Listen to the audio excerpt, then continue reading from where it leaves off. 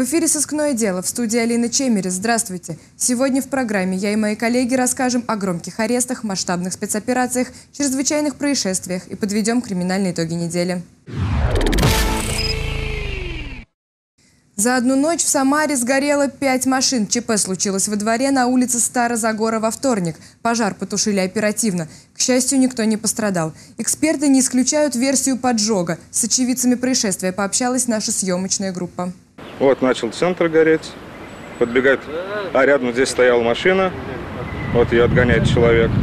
И сейчас начинает взрываться колеса.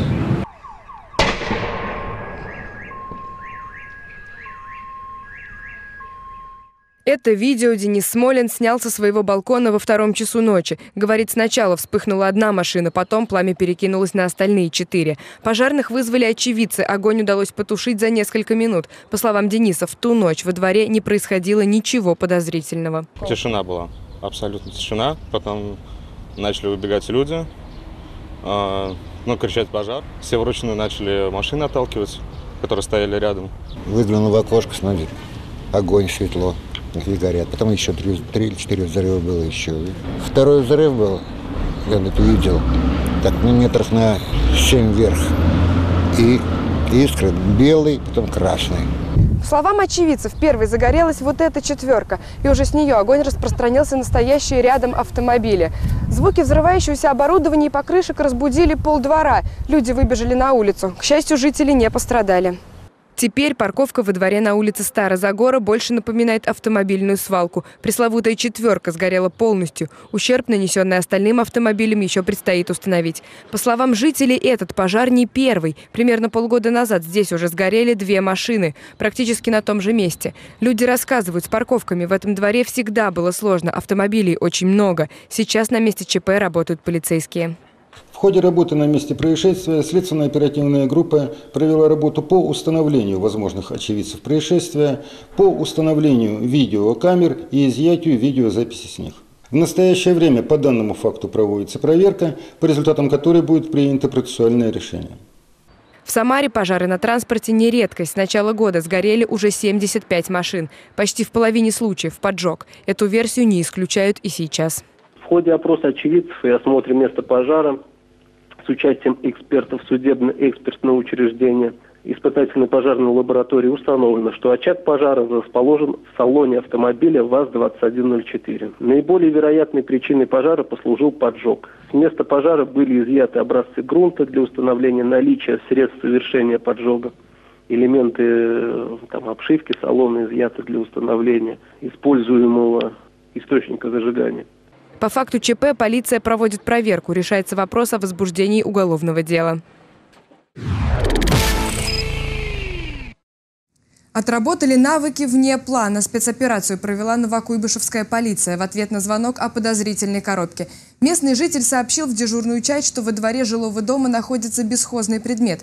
Полицейские отреагировали немедленно. Квартал оцепили. Участковые и спасатели проникли во двор по пожарной лестнице и крышам гаражей. Этим же путем эвакуировали жителей. Прибывшие сотрудники Росгвардии произвели два гидроудара по подозрительной коробке, которая оказалась пустой. Меж тем, подобные сообщения всю неделю поступали в плановом режиме. В Самарской области прошли антитеррористические учения. Муляжи взрывных устройств обезвреживали во всех районах, причем заранее о месте закладки не сообщалось. Учения завершились сегодня. Страшном ДТП на Московском шоссе погибли водитель мотоцикла и его пассажирка. Трагедия случилась в ночь на субботу. По предварительным данным, примерно в 4 утра в направлении улицы Киевской ехал эвакуатор. Поворачивая на коммунистическую, водитель предположительно нарушил правила очередности и столкнулся с мотоциклом, который тут же отбросило на другой эвакуатор. По словам очевидцев, мотоцикл от сильного удара взорвался. Водитель погиб на месте. Пассажирку в тяжелом состоянии доставили в больницу, где она вскоре скончалась. Сейчас полицейские проводят проверку. Еще одна трагедия на дороге. В Самаре под колесами грузовика погибла пожилая женщина. ДТП произошло на перекрестке заводского шоссе и улицы 22-го партсъезда. Это место пользуется дурной славой у сотрудников ГИБДД. Такое происшествие здесь не первое. На оживленном перекрестке есть светофор, но многие пенсионеры его игнорируют. Идут напрямую по кратчайшему пути. Олег Зверев пообщался с полицейскими и нарушителями. Это уже третий подобное ДТП на злополучном перекрестке с начала года. Пенсионеры переходили проезжую часть в неустановленном месте, буквально в 20 метрах от светофора. Водитель не заметил пешеходов. В итоге одна из бабушек в больнице, другая под колесами грузовика.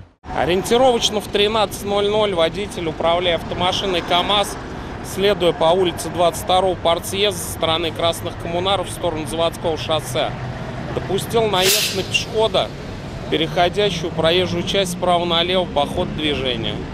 В результате полученных травм пешеход скончался на месте.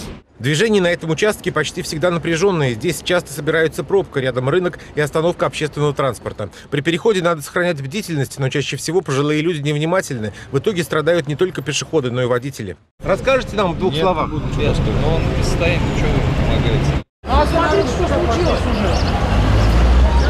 Ой, как Ой, как Некому идти-то. Вот и иду. Вот Ну, она одна перешла и все. Туда идти надо. Вон лежит перед КАМАЗом. Эта женщина тоже пошла не глядя, благо рядом оказался сотрудник ДПС, который вовремя остановил и помог перейти улицу. Сами пешеходы не отрицают, что как переходит дорогу в этом месте, настоящий беспредел. На светофор многие вообще не обращают внимания. Почему? У каждого своя правда. У меня обе ноги больные.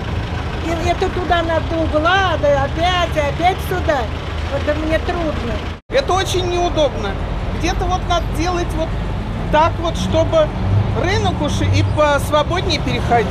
Потому что мы нарушаем, и, все нарушают. По мнению многих пешеходов, светофор расположен неудобно, приходится делать крюк, но даже в этом случае сотрудники ГИБДД вот на таких примерах предупреждают. Нарушать правила дорожного движения – это значит рисковать своей жизнью, а зачастую и здоровьем окружающих.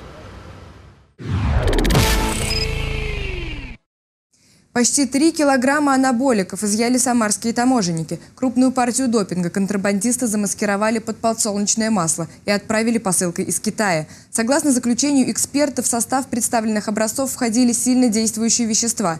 Заведено уголовное дело в отношении 22-летнего самарца, который получил посылку на почте. Теперь ему грозит тюрьма. Со слов задержанного он знал о том, что данные сильнодействующие вещества ограничены к перемещению на, э, к свободному распространению на территории Российской Федерации и заказывал данные вещества в личных целях.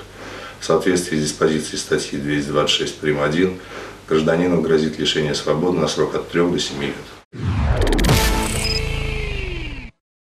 Самарской области продавали яйца, зараженные птичьим гриппом. По информации Главного управления ветеринарии Кабинета министров Татарстана, на птицефабрике Лаишевского района с 3 по 8 мая погибло около 5000 голов птицы. Исследование показало, причина – геном возбудителя птичьего гриппа. Предположительный источник инфекции – дикие особи. На комплексе не соблюдались ветеринарно-санитарные нормы. Яйца продавались в Казани, Вологодской, Кировской, Самарской областях, Республике Коми и Ямало-Ненецком автономном округе. До 1 мая весь падеж отправлялся для уничтожения на Самарский утильзавод. Заместителя главы одного из сельских поселений Самарской области подозревают в получении взятки. Как следует из материалов дела, чиновник получил 160 тысяч рублей от предпринимателя. За это разрешил складировать грунт в котловане без документов. Подозреваемого задержали в фитнес-клубе «Тольятти». При досмотре его машины под ковриком полицейские обнаружили 30 тысяч рублей. В настоящее время Следственным управлением Следственного комитета России по Самарской области возбуждено уголовное дело по части 5 статьи 290 Уголовного кодекса Российской Федерации «Получение взятки». Санкции данной статьи предусматривают до 12 лет лишения свободы. Самарские полицейские разыскивают трех грабителей ломбарда на проспекте Масленникова. Преступление произошло в воскресенье в половине первого дня, сообщает пресс-служба областного полицейского главка. Сначала молодые люди пришли в ломбард на разведку, осмотрели витрины и ушли. Затем вернулись, прикрыв лица тряпками. Разбили витрину, похитили украшения и сбежали. Всем подозреваемым на вид не более 25 лет.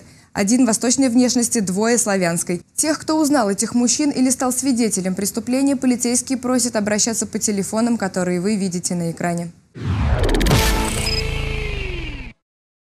На этом у нас все. Вы смотрели «Сыскное дело». Будьте внимательны и берегите себя. До встречи через неделю.